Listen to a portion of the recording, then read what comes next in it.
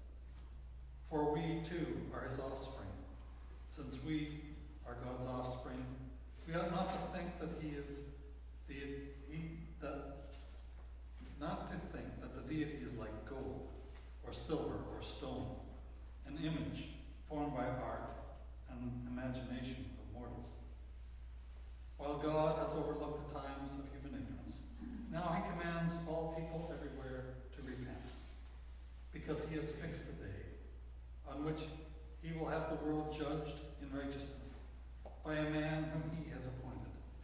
And of this he has given assurance to all by raising him from the dead. Hear what the Spirit is saying to the church. Amen.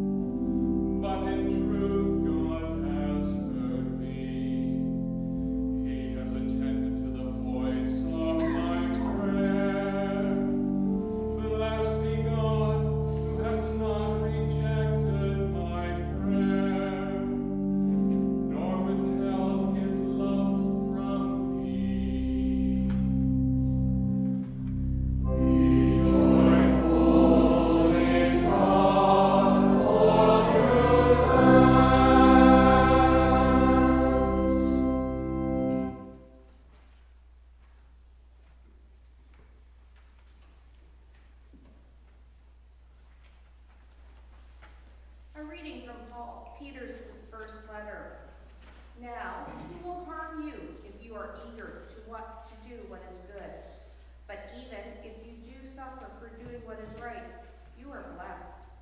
Do not fear what they fear, and do not be intimidated, but in your heart sanctify Christ as Lord. Always be ready to make your defense to anyone who demands from you an accounting for the hope that is in you. Yet do it with gentleness and reverence. Keep your conscience clear, so that when you are maligned, those who abuse you for doing good conduct in Christ may be put to shame. For it is better to suffer for doing good, if suffering should be God's will, than to suffer for doing evil. For Christ also suffered for our sins once, once for all, the righteous for the unrighteous, in order to bring you to God. He was put to death in the flesh, but made alive in the spirit, in which also he went and made a proclamation in the spirit in prison, who in former times did not obey. When God waited patiently in the days of Noah, during the building of the ark, in which a few, that is, eight persons, were saved through water, and baptism, which this prefigured, now saves you, not as a removal of dirt from the body, but to God for good conscience through the resurrection of Jesus Christ, who has gone into heaven and is at the right hand of God with angels, authorities, and powers made subject to him. Hear what the Spirit is saying to the church. Thanks be to God.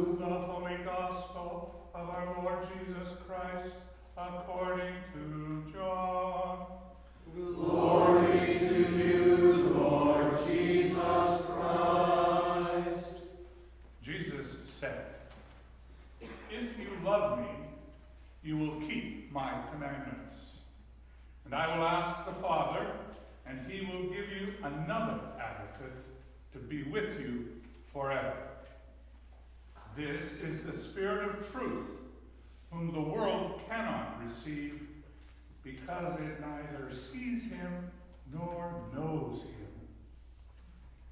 You know him because he abides with you, and he will be in you. I will not leave you orphaned. I am coming to you. In a little while, the world will no longer see me, but you will see me. Because I live, you also will live. On that day you will know that I am in my Father, and you in me, and I in you. They who have my commandments and keep them are those who love me. And those who love me will be loved by my Father, and I will love them and reveal myself to them. The Gospel of Christ. Praise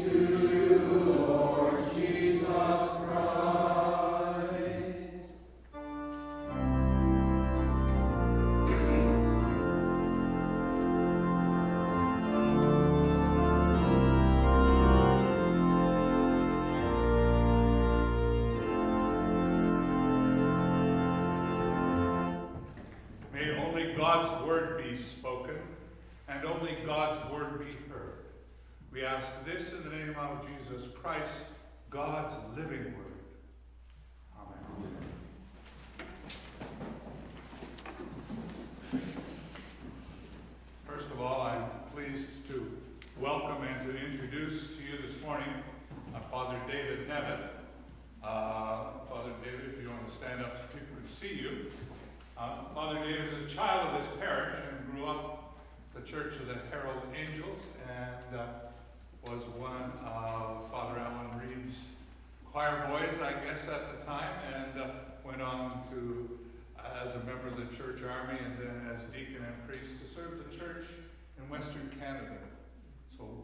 this morning. It's a homecoming, I guess, of sorts. So we're very pleased you could be with us. Thank you. Thank you.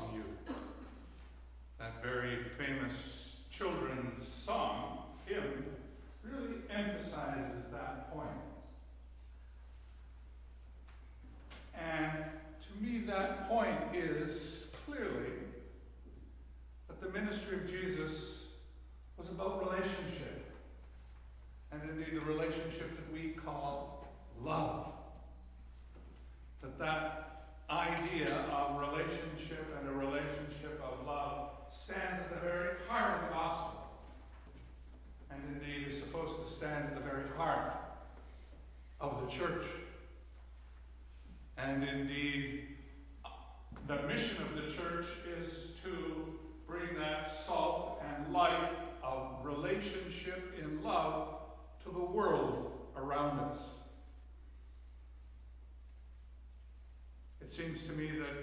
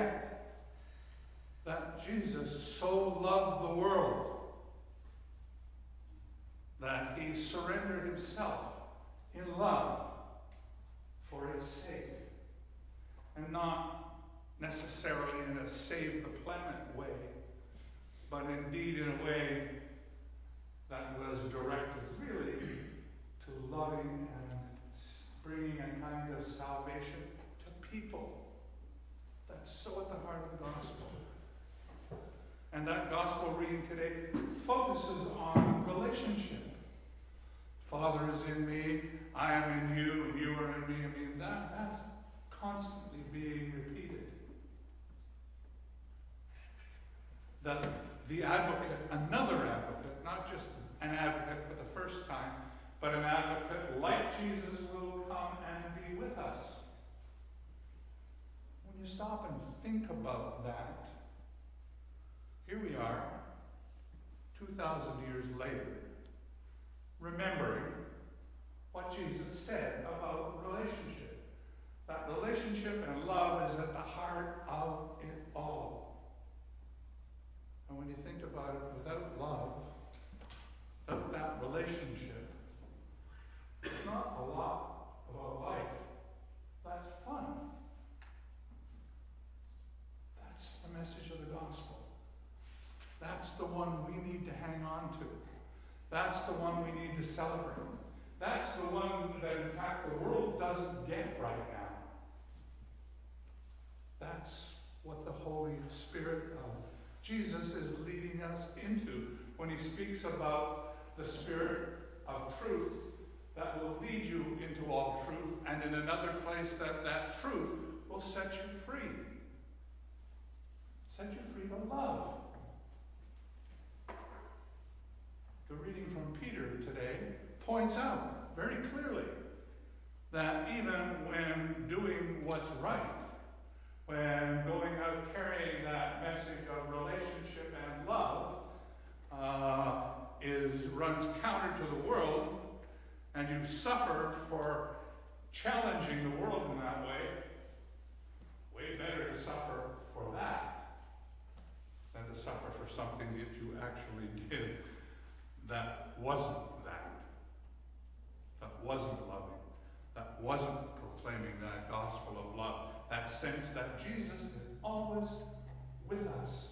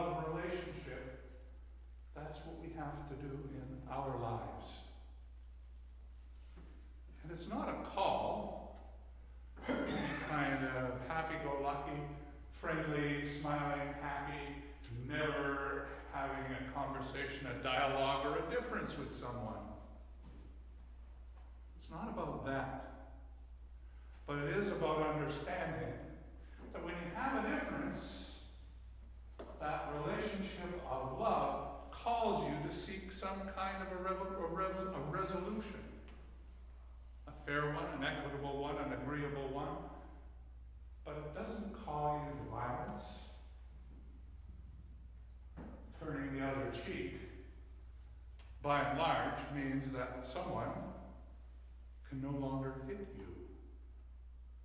Remember that. Jesus used that cultural norm of the, the left hand in the, in the west, in the Eastern, Middle Eastern world to show you that when someone strikes you, turn the other cheek and you disarm them. Because your relationship always needs to go back to that sense that God not only loves you, that God, through Jesus and the love of Jesus, redeemed you and and called you into new life. But that that relationship of love also calls you to reach out into the world around you, to offer care and compassion and, and forgiveness and nurture and support that reflects the relationship Ephesians. Because when you stop and think about it, really think about it, none of us can get along without God. It seems to me that somehow the human is hardwired to understand God. The reading from Acts about Paul's speech the Areopagus, when he says he saw a statue dedicated to an unknown God, speaks of that hardwiring, even in an ancient civilization that didn't believe particularly in the one God. It's almost like we're donuts with a hole that only God can fill. And the heart of that hole is the relationship of love. And it seems to me that's what Jesus is talking about in today's gospel when he points out that there is a relatedness between him and his followers, between him and the Father, between his followers and the Father, that it's kind of this, this busy circle of relationship that's at the heart of it all. So as we think about our lives and our work and our world in this coming week, this uh, last week of the Easter season, and the new life that Easter promises, we need, do we need to ask ourselves, what would remembering that I live in a relationship of love with everything and everyone around me, what difference would it make I remembered that and acted on it this week? Amen.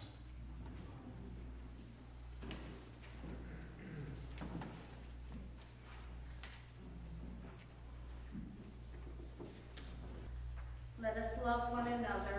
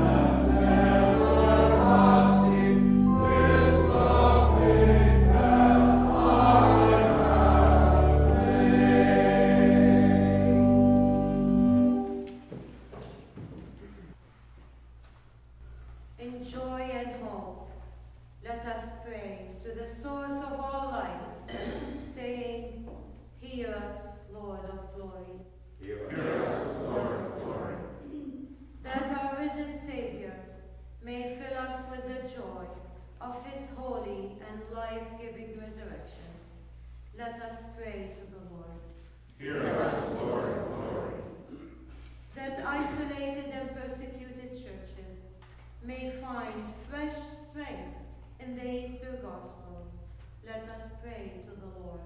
Hear us, Lord, Lord. That he may grant us humility, to be subject to one another in Christian love, let us pray to the Lord. Hear us, Lord, Lord. That he may provide for those who lack food, work, or shelter, let us pray to the Lord. Hear us, Lord, Lord. That by his power, wars and famine may cease through all the earth, let us pray to the Lord.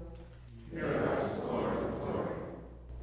That he may reveal the light of his presence to the sick, especially Audrey Lees, Walter Youngworth, Virginia Payne, Logan McCarthy, Dyson Nicola and Dave Windham, and Olive Coles.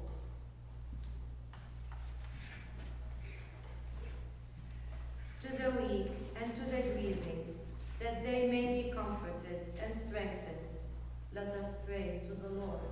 Hear us, Lord, Lord. that he may send the fire of the Holy Spirit upon his people, upon our bishops, Colin and Peter, and our priest, John, in our diocese, upon the people and clergy of the parishes of Parkdale and the Toronto West Deanery.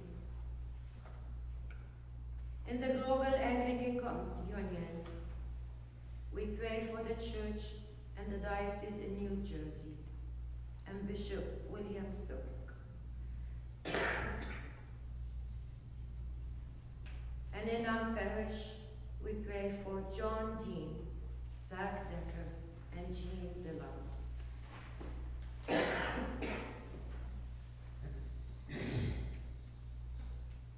that we all may bear faithful witness to his resurrection, let us pray to the Lord.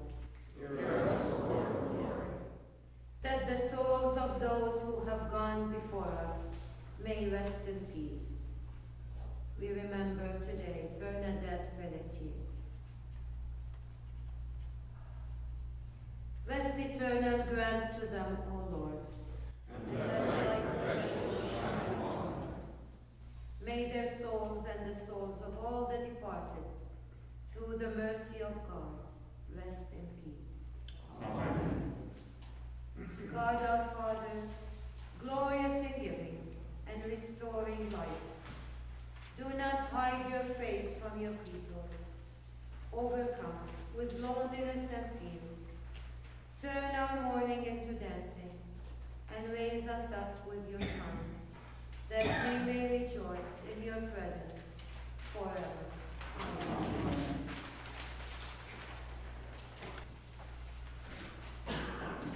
Dear friends in Christ, God is steadfast in love and infinite in mercy.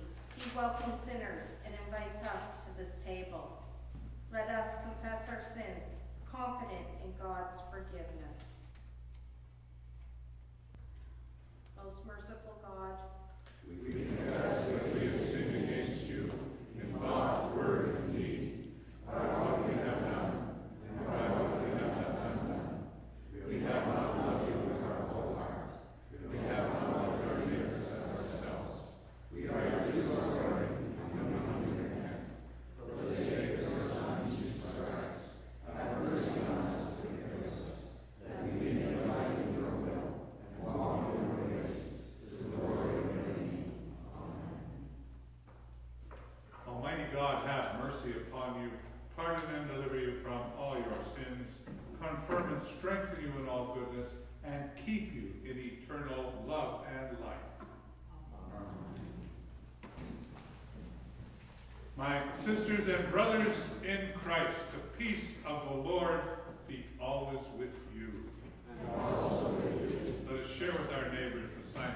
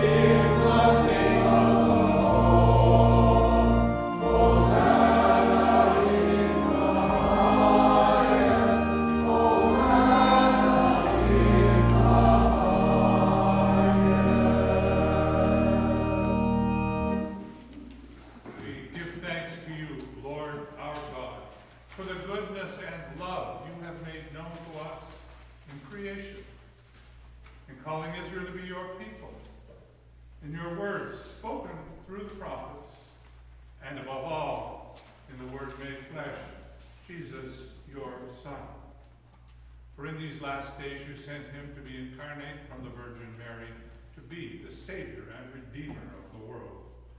In him you have delivered us from evil and made us worthy to stand before you. In him you have brought us out of error into truth, out of sin into righteousness, out of death into life. On the night he was handed over to suffering and death, and death he freely accepted, our Lord Jesus Christ took bread. And when he had given thanks to you, he broke it and gave it to his disciples and said, Take, eat, this is my body, which is given for you. Do this for the remembrance of me.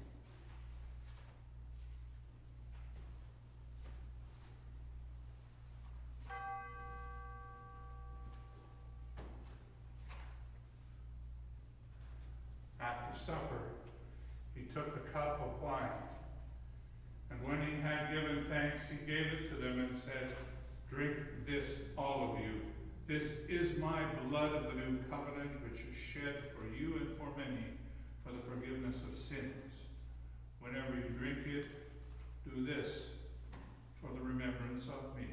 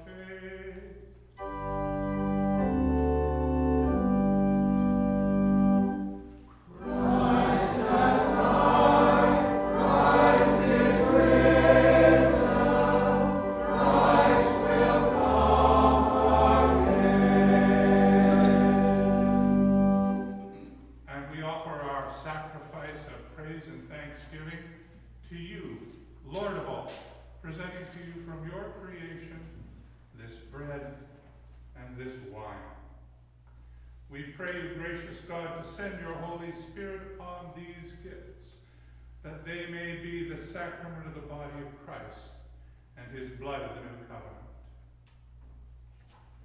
Unite us to your Son in his sacrifice, that we, made acceptable in him, may be sanctified by the Holy Spirit.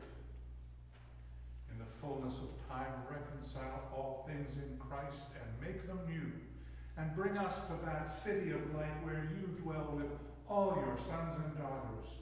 Through Jesus Christ our Lord, the firstborn of all creation, the head of the church, the author of our salvation, by whom and with whom and in whom, in the unity of the Holy Spirit, all honor and glory are yours, Almighty Father, now and forever.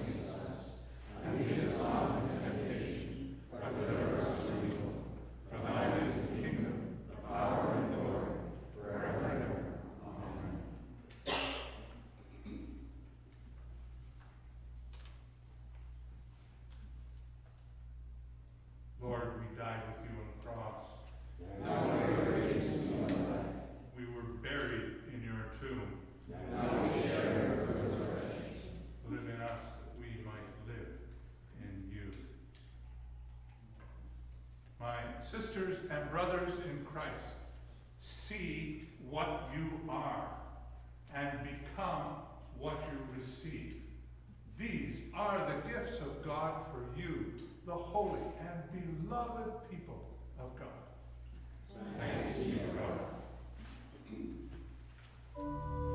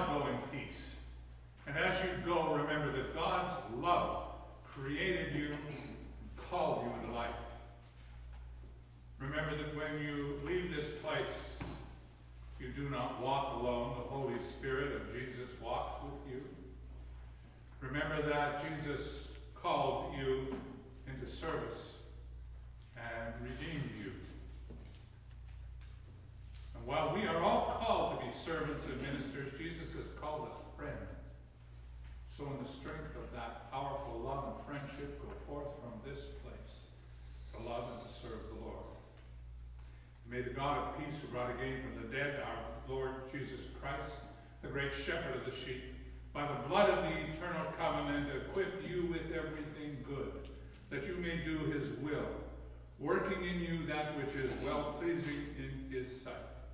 And the blessing of God Almighty, the Father, the Son, and the Holy Spirit be upon you and those whom you love, both here and in paradise, now and always. Amen. Thank you.